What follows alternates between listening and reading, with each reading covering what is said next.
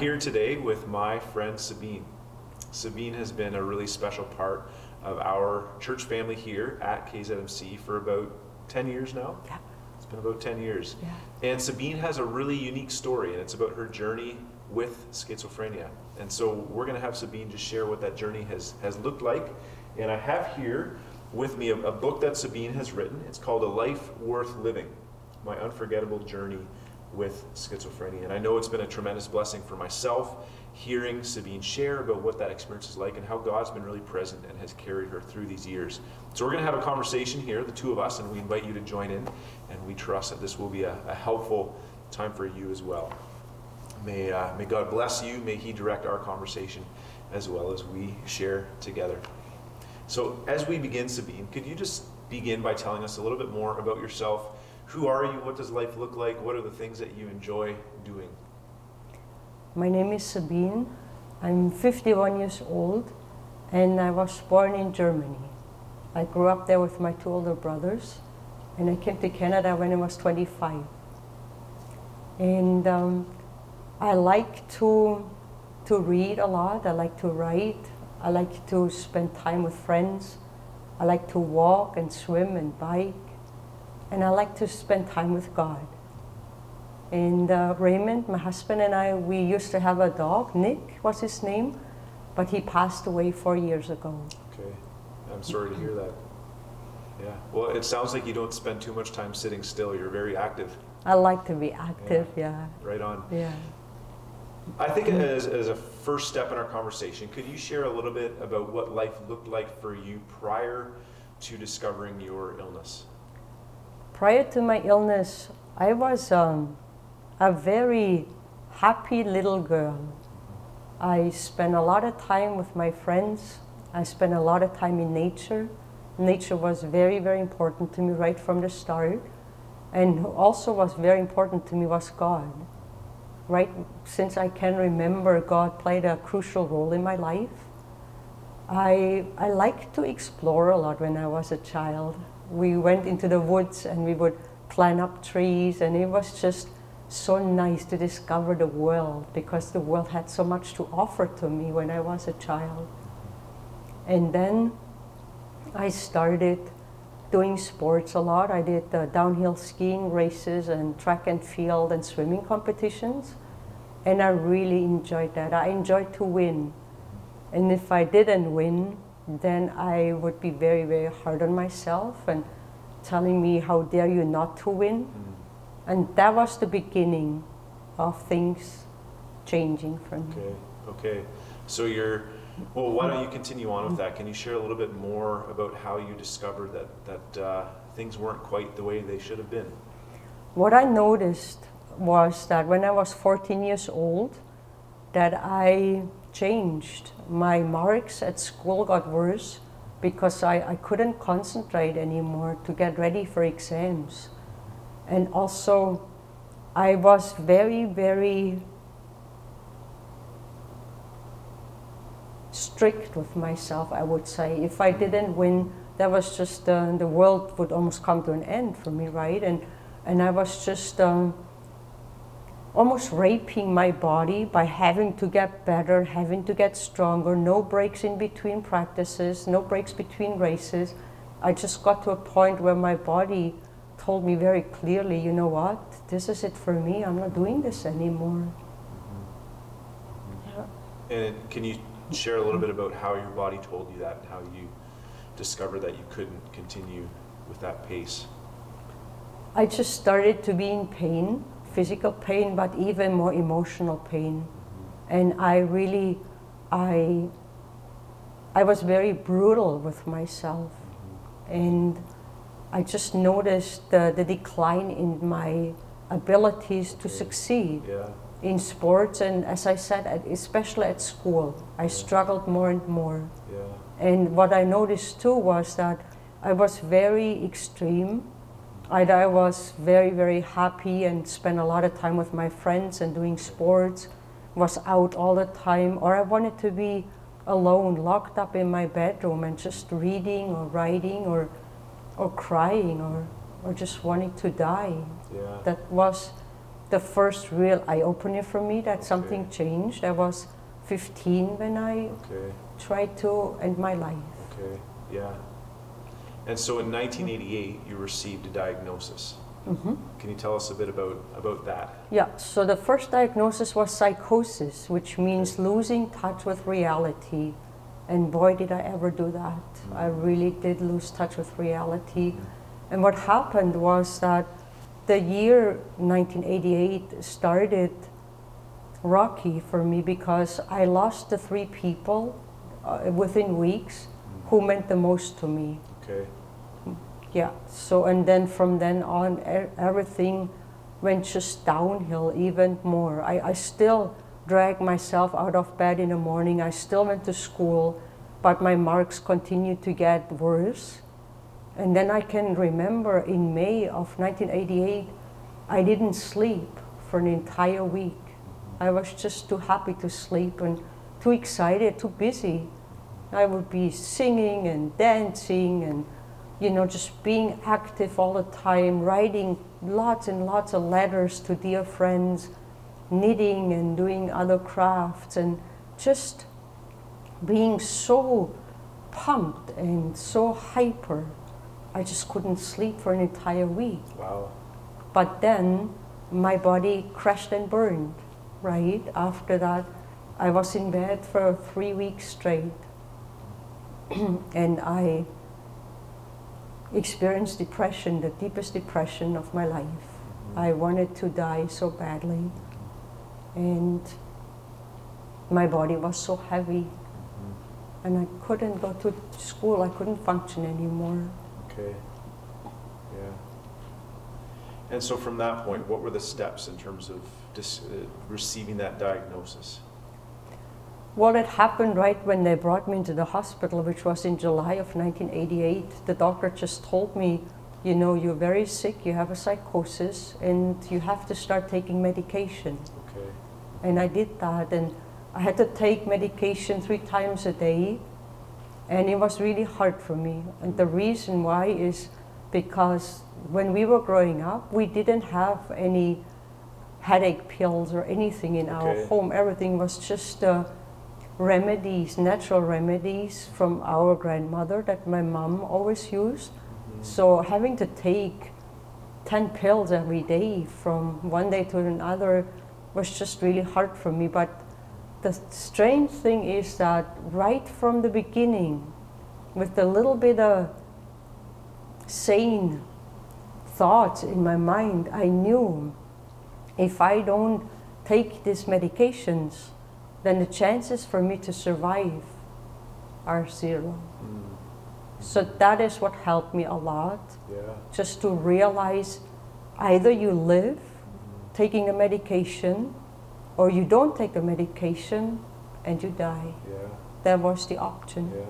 Well, I'm, I'm so thankful, Sabine. I'm really happy that that intervention happened at that time with the doctor to, to help care for you and provide for you Yeah. in that way. So then, for for life from that point on, what did the next number of years look like? Once once you were taking the medication, a little bit more stable. What what did life what did it look like the next number of years? Life was a challenge for me, but I needed to to keep going and I knew that. Mm-hmm. So after I came back from the hospital, which was in the November of 1988, I started working in my grandfather's pen factory Okay. and I worked there for a few months and that was really good for me. I was allowed to drive the, the company van, which was a, a big van for nine people it was, and I was driving all over the place and, and it gave me some sense of freedom. I, I felt a little bit under control because my mind was just going all over the place, but being in that van and driving just gave me some control over over my life, and that was a a really important step to my next goal, which was going back to high school. And going back to high school was um, very very good for me because my mind was constantly busy with studying for the next exam instead of sitting at home and, and feeling sorry for myself. So being able to go back to high school and graduating from high school was very, very important to me for my own self-esteem because my self-esteem was just Sure. absolutely Yeah. in the Yeah. ground, right? There was no self-esteem left after Yeah. I, I got sick. So Mhm. that was a, a really wonderful experience for me. Yeah. And he gave me the courage to apply to a school which was in the Black Forest back home in Germany. It's a beautiful area. Okay. You would like it. Yeah. And, uh, and that again, uh, graduating from that language school just gave me the strength and the courage to, to get to my next goal, which was coming to Canada. And, and I just wanted to tell you how this started. Yeah. I, I was 12 years old and I had a, a new desk for my bedroom. And I wanted to protect that desk, so I, I bought a, just, it, was about this big and it was made out of plastic and it had the, the world on it, a, a picture of the world. And I was sitting there one day and I tried to find little Germany somewhere buried within Europe. And then I just looked around and I saw on the top left corner there was this huge country. And I thought, man, what is this? Oh, Canada. Oh, Canada. It's so big. It's so beautiful. And then it was as if lightning struck me, and I said to myself, when I grow up, I'm going to live in Canada. Mm. And I was 12 at the time. It's fascinating how God directs our Yeah. paths. eh? So, what were the steps? What were the steps then in terms of how you arrived to Canada? well, the first step was God's voice in the psychiatric hospital. Mm. When I was 19, I remember one night, all I wanted to do was just die because the depression and the fear and the just everything that was going on in my mind wanted me to stop living. But God said that night to me, Sabine, if you ever want to be healthy again and live a good life, then you have to live in Canada. Okay. Yeah. And here you are living on the shore of Lake Huron, Yeah. enjoying the sunsets and the water Yeah. yeah. with Raymond and With wonderful. Raymond, uh, Yeah. So how did you how did you first begin seeing how and when did you first begin seeing the signs of schizophrenia? So, the biggest sign was and is the voices that I'm Okay. hearing. Mhm. Yes, for me, that was it, the voices. Yeah. Yeah. And what age did you first hear those voices? That was when I was in a psychiatric hospital in Okay. the fall of 1988. From Okay. one day to the other, they were just there. Hmm. Yeah. Mhm. Okay. And can you tell us, uh, is there anything else you want to want to say that will help us to understand what experiencing schizophrenia is like? It's just a, a roller coaster ride of emotions and Mhm. thoughts. Mhm.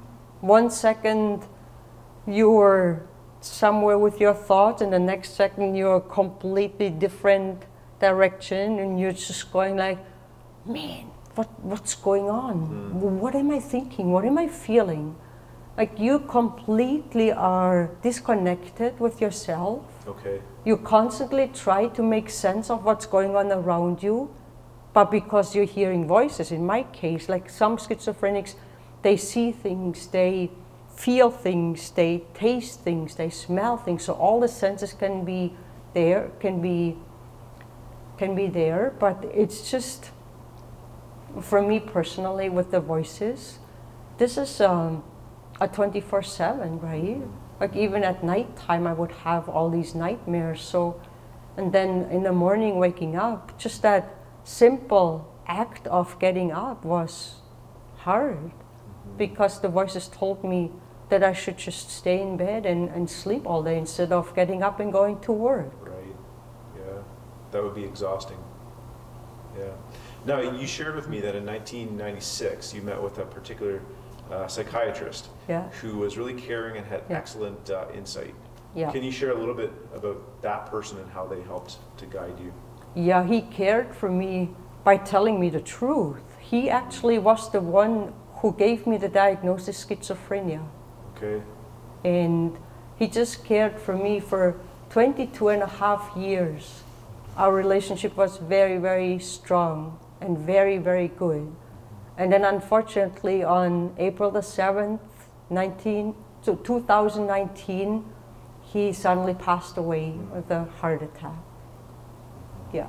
Yeah. But he was guiding me through all these years. Mm-hmm. And he he believed in me and I think this is what was the most crucial part about our relationship Yeah. that he always believed in me. He both believed in you and spoke the truth. Yes. Yeah. But cheered cheered you on then from that. He cheered me on. Yeah. Yes. Oh, that's wonderful. Yeah. So another point of thankfulness. Yeah. Thank you so much to God that He provided this person in your life. That's at that right. So, so always at the right time, the right people came into my life. And when God knew now she's almost really at the end of her strength, then He would send me somebody who gives me the hope to continue with life. Mhm. And my psychiatrist was one of those people. Yeah. And it was so funny. We had a, a little game. so the, the interns, the medical students who were considering becoming psychiatrists, they could sit in our session, mm-hmm. and then Dr. Harashan and I, we would talk to each other. He's my psychiatrist, and then they were supposed to guess what illness I have. Okay. Yeah. So we would talk, and then we asked him, "So, what do you think? What illness does Sabine have?" And then just they looked at the psychiatrist, then they looked at me, then they looked at the psychiatrist, then they looked at me. She doesn't have an illness, you know. And, and the psychiatrist and I, we were just laughing our heads Sure, off. We, we were just like we were like little kids playing, and, and this game was just so funny. Yeah. okay. You've, you've shared about just how significant your faith has been and the presence and the voice of God along the way in Mm-hmm. Yeah. terms of sustaining you. Um, anyway, I, I won't say more. Yeah. Share with us about what that Yeah. has been like. So that is the reason, Ryan, why I am here today. God. Without God, I would not have had the strength, the ability, the motivation to keep living. And God was the one who was always this much faster than the evil voices that I'm hearing. So if the voices tell me that I have to run into the oncoming truck, then God says, No, Sabine, you just stand there, you wait until a truck passes, and then you cross the road. Mm-hmm. So God, for some reason, and I'm so thankful for that, mm-hmm. has always been there to pro, to prevent me from killing because that is what the voices want me to do. Mm-hmm. That's their favorite topic, death. And in gory detail, they tell me every day how I should kill other people or myself. God has been there, Yeah. has been present, and has spoken words of truth and life Yeah, over you. over me. Yeah. Yeah. Thanks. Thanks Yeah. be to God. hmm What would be your, well, sorry, before I proceed to the next question, is there anything else you want to express along those lines Hmm. of how your faith has carried you? It's just marvelous because in the midst of, of the deepest depression and of your deepest fears, there is this light, Mhm. this warm light that radiates peace. Mhm. And that peace comes to us if we let it happen. That's what God wants to do in all our lives. He wants us to be peaceful. And that was something I noticed right away. But I was so far away from peace, right? So I made it my biggest goal to spend more and more time with God, to feel that peace that is coming from Him. And when I stopped spending every waking hour with friends, which I had to do for so many years because of what was going on in my mind, right? Mm-hmm. But now, especially through COVID, and I think we all feel the same way, suddenly I had so many hours that I didn't have before. And that's the biggest opportunity because God likes to talk to us, and as you know, when we are silent, so that we can hear His soft voice instead of listening to those screaming voices that were in my head too. So I had the choice every single day, just like the rest of us. Do I listen to this loud voice that tries to destroy me? Or do I listen to the gentle voice that tries to give me life? And I made it my goal ever since I started hearing these voices in the fall of 1988 to live. Yeah. And with God's help, I do live. I don't survive anymore. I don't exist anymore. Ryan, I live. Right. Yeah. Hence the title of your book, A Life, yeah, a life Worth Living. exactly. Yeah. Exactly. What would be your one central piece of advice to someone who may be experiencing schizophrenia? To be honest with yourself. If you notice that there is something different, your thoughts are not the same, your feelings are not the same, you, you spend less time with your friends, you, you want to be alone in your room all the time, you think about dying all the time, that's when it's time to look for help. And there's marvelous, wonderful help out there. I've just had so many good psychiatrists and counselors in my life. There is help, so please get the help because things can get better. But you need to admit, I need help. Admit it, and then there is help. Okay. Thank you very much, Sabine. And uh, so I'll just, for what it's worth, add my add my echo to that of the invitation to seek to seek help. Uh, Sabine, when you describe the things that you experience on a daily basis, you know it's hard for someone like myself to imagine because we experience you as such a bright, shining light in our community, a place of peace and a place of, of joy.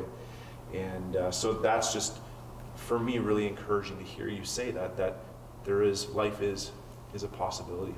So thank you so much for joining me for this conversation today. I always enjoy each conversation we have because I always learn something new about your story. I didn't know that you uh, that you drove uh, a van for your for your family. I did. There was one other detail you, you shared that I, I had not heard before. Anyhow, it's a fascinating story. And so, for those of you who've joined us for this conversation, I just want to highlight for you again Sabine's book, A Life Worth Living. Uh, maybe you're personally experiencing schizophrenia, you want better insight. Maybe someone you love is, or maybe just in general, it would be really helpful to have better insight into this and the power and the presence of God in the midst of it. So, I, I can't recommend this book enough.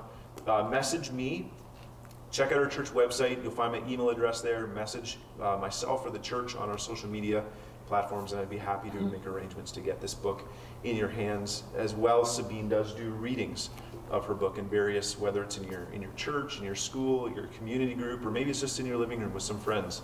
Uh, Sabine shares her story more fully. So again, reach out. Let us know if you think that that would be would be helpful. Thanks so much for joining us. Thank you, Sabine, for your story. Yeah. And I'll give you the last word, but just for myself to conclude, uh, in summary, like just so much thanks to God as well that He's been present, that He's sustained you, and that He's brought you to this point, and is blessing so many people through you by sharing this story. So yeah, thanks Thank you so much, Ryan, for having me. And, and I just wanted to say one thing. Being diagnosed with a mental illness is not a death sentence. Life can and will and must go on.